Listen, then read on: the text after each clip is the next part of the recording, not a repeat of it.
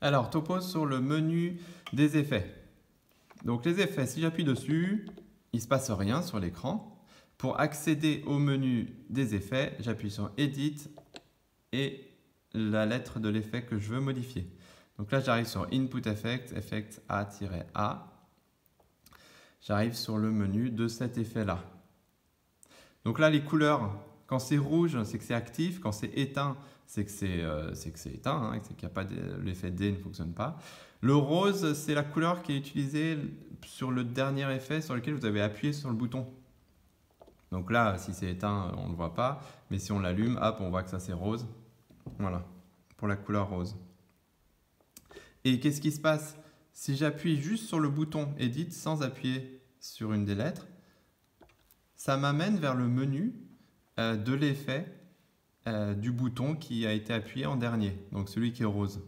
Donc là, le D, c'est le dernier bouton sur lequel j'ai appuyé, ça m'amène là. Si j'appuie sur le A, par exemple, j'active le, bouton A, et j'appuie juste sur Edit, hop, ça m'amène vers l'effet vers A. Ça, c'est juste euh, un détail. Euh, en tout cas, moi, par réflexe, j'utilise toujours cette combinaison Edit et l'effet que je veux modifier.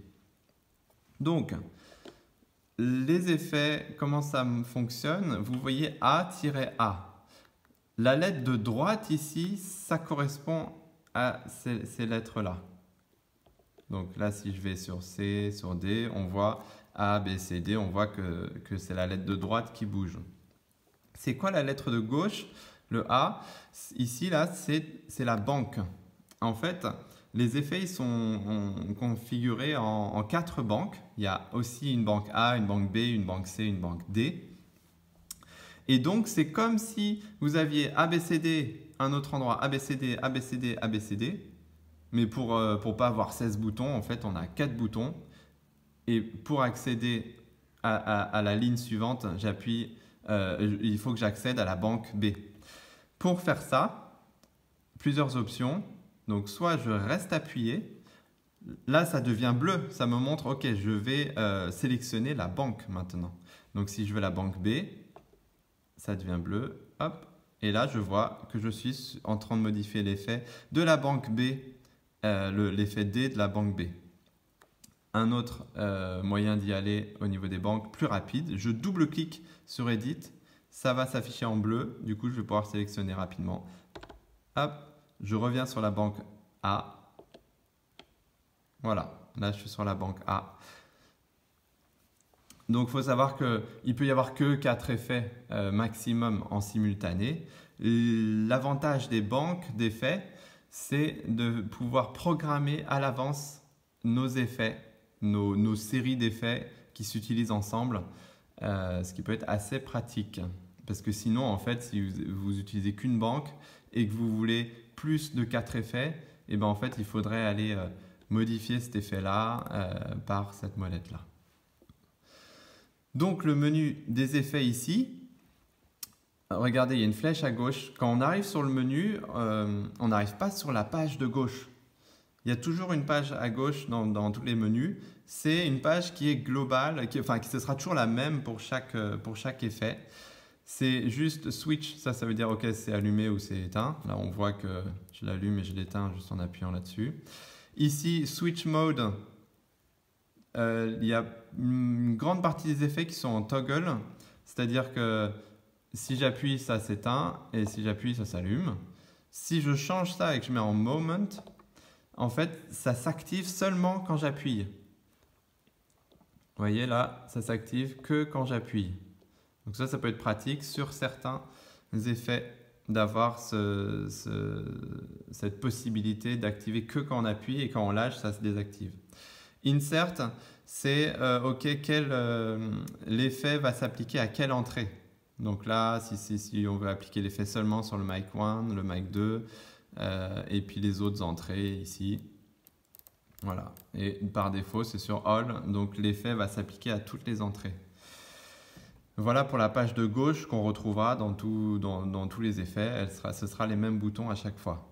Je reviens sur la page euh, sur laquelle on arrive quand on édite euh, l'effet. Le premier bouton ici, FX Type, c'est le type d'effet. Donc là, il y a, dans les input effects, il y a 51 effets différents. Il y en a un gros paquet. Et sur les track effects, à côté, il y en a 55. Donc il y a les mêmes, dans track il y a, tous les effets de input effects et il y en a quatre autres en plus. Donc, je sélectionne mon effet avec ce bouton-là. Et à partir de là, une fois que j'ai sélectionné mon effet, toutes les autres informations qui sont à droite de ce bouton-là correspondent aux paramètres de cet effet choisi. Donc là, j'ai tous les paramètres de la reverb. Et j'en ai d'autres encore, si je vois la flèche de droite, j'en ai d'autres ici sur lesquels je peux agir. Je rappelle que pour bouger euh, une valeur d'un paramètre, ça y va cran par cran si je tourne normalement. Et si j'appuie et que je tourne, ça me permet d'aller beaucoup plus vite dans le déplacement des valeurs. Donc là, par exemple, j'ai programmé une reverb sur le A. Je veux programmer un autre effet sur le, le B. Je vais Edit B. Là, je vois, il est automatiquement sur guitare to basse. Et là, je vois que j'ai que deux paramètres euh, sur lesquels agir sur guitare to basse. Si je veux un autre effet ici, eh ben, je bouge ça. Pour pouvoir euh, entendre ce que ça fait l'effet, euh, pensez bien à l'activer. C'est tout con, mais des fois on oublie, on, change, les, on change les paramètres et on voit qu'il n'y a, a, rien qui change. C'est juste parce que peut-être qu'il n'est pas actif. Un autre détail important, faites toujours attention quand vous modifiez les paramètres d'un effet, euh, d'observer, ok, est-ce que c'est bien l'effet que je suis en train de modifier là, le A? Ok, là, il y a juste le A qui est actif, je vois que c'est Effect AA, ok, c'est bon. Mais des fois, je peux être là en train d'activer un autre effet et à me dire, ok, j'ai envie de changer les paramètres de l'effet C, et là, je bouge des, potards ici, mais en fait, ça va, ça va rien changer, parce que là, ce qui change, c'est toujours l'effet A. Même si j'appuie sur des boutons ici, le menu, il reste sur le dernier, le dernier edit qu'on a fait. Donc là, toujours se vérifier ça. Si je veux modifier le dernier effet sur lequel j'ai appuyé, hop, j'appuie dessus Edit, c'est. Euh, et là, ça m'amène ça vers le menu de cet effet-là. Donc des fois, on peut se faire avoir comme ça. Euh, toujours vérifier cette lettre-là, est-ce qu'elle correspond l'effet que je veux modifier. Un détail sur la molette. La molette ici, elle, elle va toujours modifier la valeur d'un paramètre de l'effet. Donc là, par exemple, dans Reverb, il faut aller sur la page de droite pour voir que ah, ça bouge cette valeur-là. Et à chaque fois, par défaut, il est associé à un des paramètres. Si on va sur guitare tout basse, on voit que c'est associé à ce paramètre-là. Là, ici, c'est associé à ce paramètre-là. À chaque fois, il y a un des paramètres qui est associé.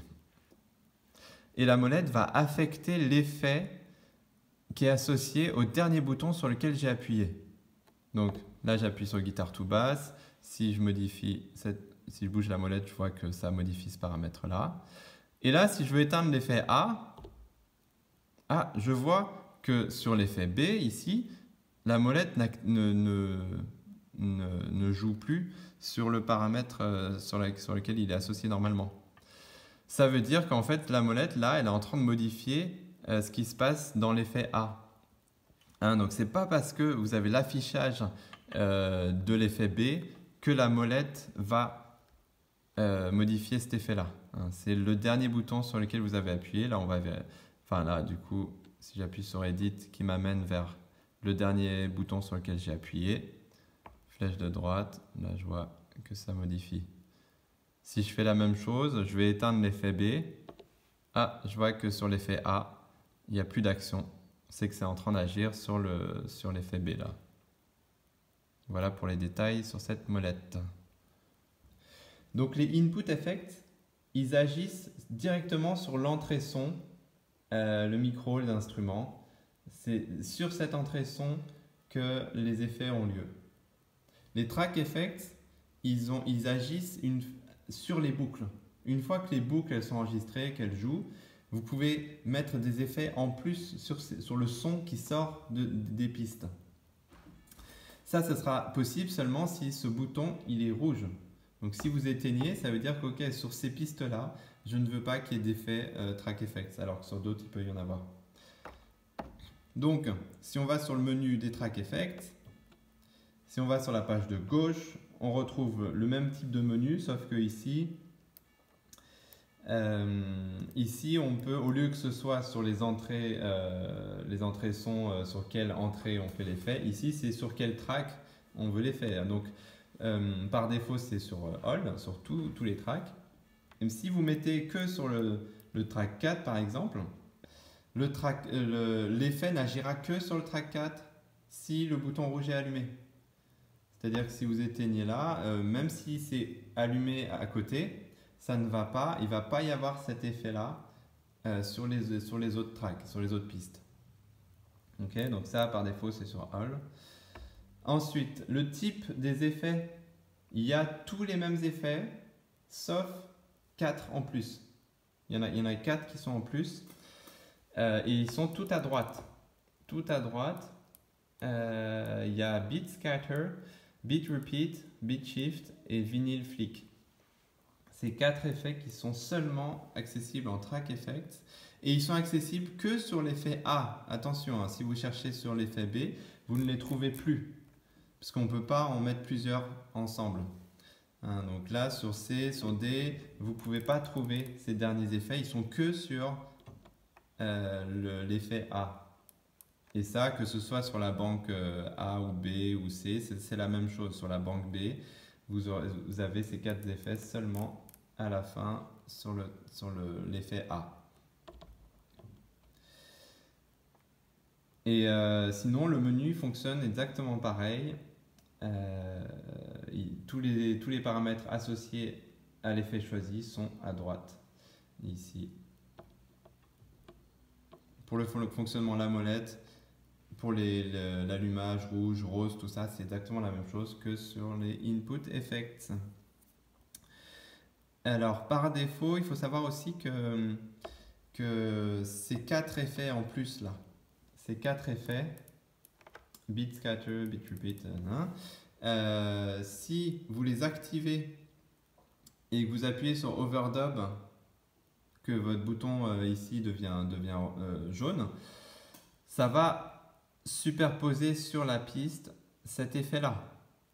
Donc c'est valable sur ces quatre derniers effets sont ici, euh, le overdub va, enregistrer l'effet.